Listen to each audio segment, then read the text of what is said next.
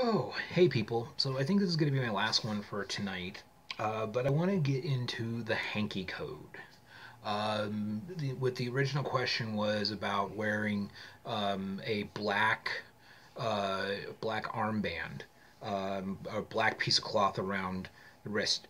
Um, back in um, the 70s, when this was really first started, still kind of exists today, but not as much.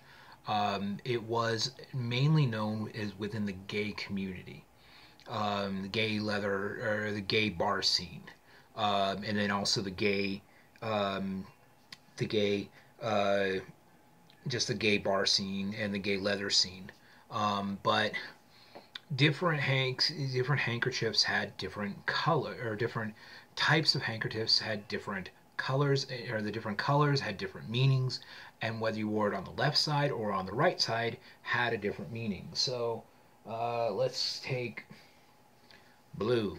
This is just standard blue. Um, just the stand the standard blue um, let me see if I can go on this list.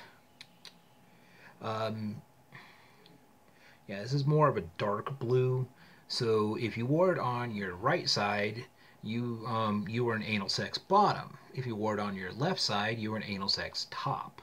Uh, if it was black, uh, black and white, uh, checker, that was safe sex, uh, some safe sex bottom, safe sex top.